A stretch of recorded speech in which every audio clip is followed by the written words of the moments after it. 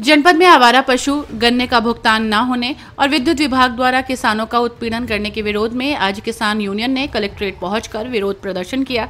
जिलाधिकारी को ज्ञापन दिया। साथ ही किसानों ने चेतावनी दी कि यदि उनकी समस्या का समाधान नहीं हुआ तो कलेक्ट्रेट के घेराव समेत रेल रोको आंदोलन भी चलाया जाएगा। मंगलवार को भारतीय किसान यूनियन के जिलाध्यक्ष कविंद्र मलिक के नेतृत्व में सैकड़ों किसानों ने कलेक्ट्रेट का घेराव किया तथा जिलाधिकारी को संबोधित एक ज्ञापन दिया।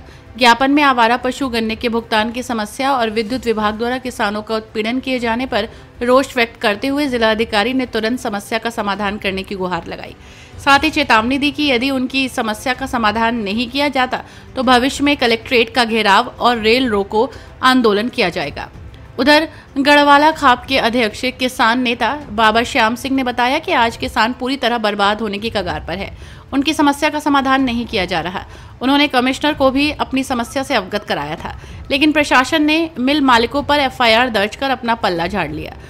उधर मिल प्रबंधक के लोग दो घंटे हिरासत में रहने के बाद बाहर आ गए।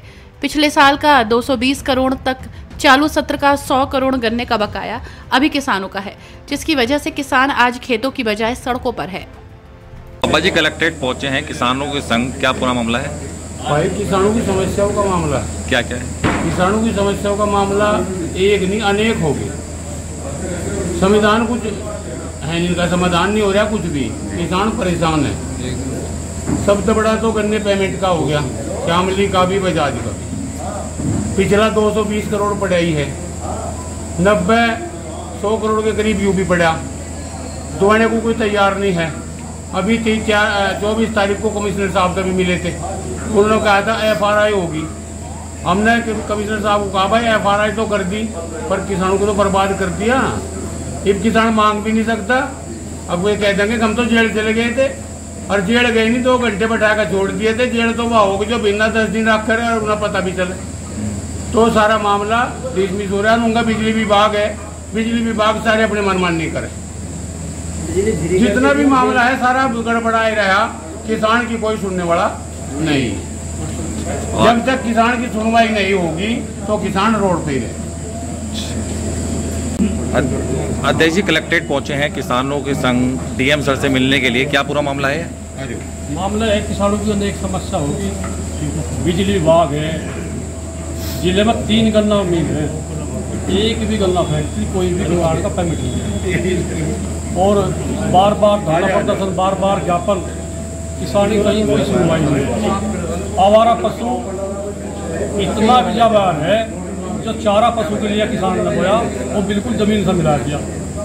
कहीं भी कोई समाधान नहीं है किसी आवारा पशु का समाधान नहीं है। बिजली विभाग की इतनी बड़ी तानाशाही है और के मकानों पर चढ़ चढ़ कर केबिल उतार रहा। शासन प्रशासन बिल्कुल झूठे मुकदमे किसान के ऊपर लगा रहा बिल्कुल इतनी बड़ी तानाशाही ज़िले में है अब कोई सुनवाई नहीं है किसान मजदूर बिल्कुल परेशान कर तो अब क्या आगे की रणनीति रहेगी? आगे की रणनीति है आज ज्ञापन दे। रहे अगर हमारी समस्याओं का समाधान नहीं हो रहा जिलाधिकारी महोदय के हिसाब से तो अगला कदम धरना प्रदर्शन है अनिश्चितकाल धरना प्रदर्शन है। उसमें रेल रोकने का भी प्रोग्राम है डीएम कार्यालय घेरने का, अनिश्चित काल का, धरने का चलो हर न्यूज़ अपडेट के लिए डिस्क्रिप्शन बॉक्स में दिए हुए लिंक से ज्वाइन करें। रॉयल बुलेटिन का व्हाट्सएप ग्रुप। और पाएँ हर खबर सबसे पहले अपने व्हाट्सएप पर। अपने आसपास की खबरों के लिए सब्सक्राइब करें रॉयल बुलेटिन। और इस वीडियो पर कमेंट के ज़रिए अपनी राय देना ना भूलें।